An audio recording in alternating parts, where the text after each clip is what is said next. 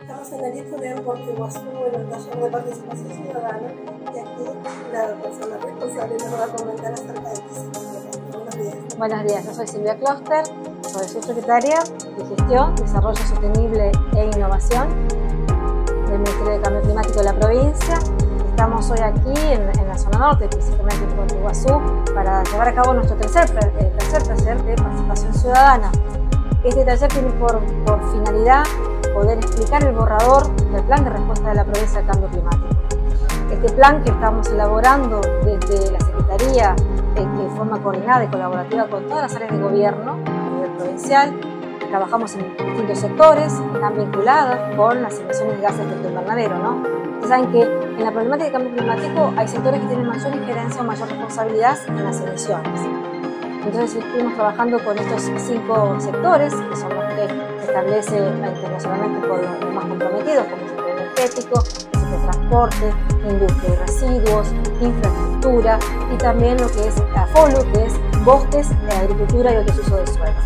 De todas estas mesas que hemos llevado casi dos años, fue un trabajo bastante arduo, eh, lo, intentamos, lo que intentamos hacer es ponernos de acuerdo con todos estos sectores para ver qué medidas podemos mejorar. primero, cómo estamos como provincia, para eso hicimos un inventario de gases invernadero, con lo cual nos sirvió para tener una idea de cómo está la provincia posicionada en la problemática.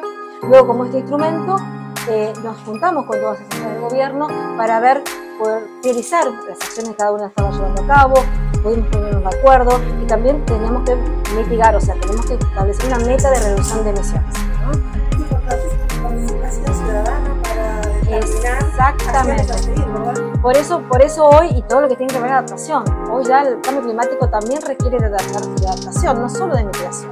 Son las dos grandes acciones que hay que enfrentar o hacer frente con la problemática del cambio climático. Por eso los ciudadanos hoy estamos acá eh, invitamos a todos, a todos los sectores y a ciudadanos a pie, porque la idea es que se pueda participar, pueda enterarse de las medidas y pueda dar su opinión, su aporte, su crítica, ¿no? Podemos equivocarnos, podemos tener miradas por ahí a lo mejor que no son eh, todas de todas o las más inclusivas, entonces la idea es que la gente pueda eh, hacer su aporte, ¿sí? van a ser escuchados, van a ser tomadas en cuenta y luego la devolución de todas estas medidas van a ser, va a ser por medio de un Zoom que será en agosto eh, vamos a juntar, como yo les dije, este tercer taller hicimos en, Posadas, en San Vicente y este es el último. De todos estos aportes vamos a hacer una devolución. Entonces, para incorporarlos al plan, para ver qué cosas podemos incorporar, para ver qué prioridades, porque a veces uno quiere participar y a lo mejor eh, el, tema a lo mejor tendrá una segunda etapa. Entonces, tenemos que hacer la devolución.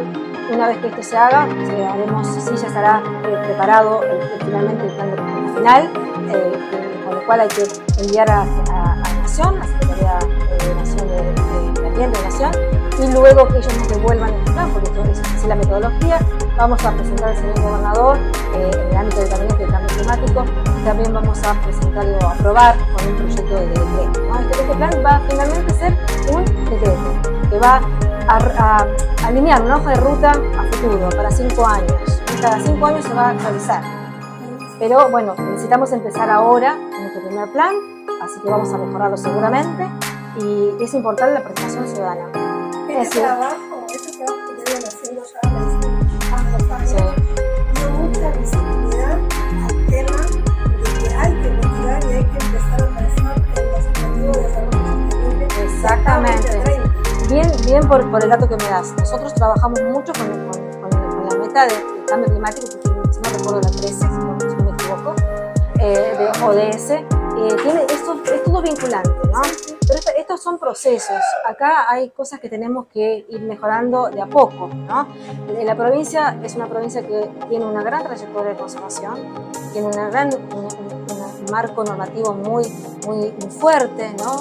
Eh, mucha, mucha actividad ambiental, pero bueno, ahora también tenemos que unirlo a la problemática Y ahí hay que mirar con otros ojos. Esto es lo que estamos tratando de hacer necesitamos la colaboración, necesitamos que este plan sea parte del ciudadano, que el ciudadano sepa que tiene que colaborar como ciudadano, colaborar porque en realidad, como yo digo siempre, eh, digamos, las respuestas tienen que ser de abajo hacia arriba, los gobiernos tienen que manejar sus planes, sus actividades, pero las personas tienen que colaborar en el manejo de los residuos, en el consumo de la energía, en el consumo del agua, ¿sí?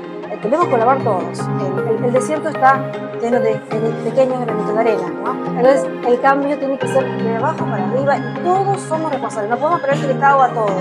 No, como ciudadanos tenemos responsabilidad para nosotros para las generaciones futuras, que es lo más importante. Gracias a vos.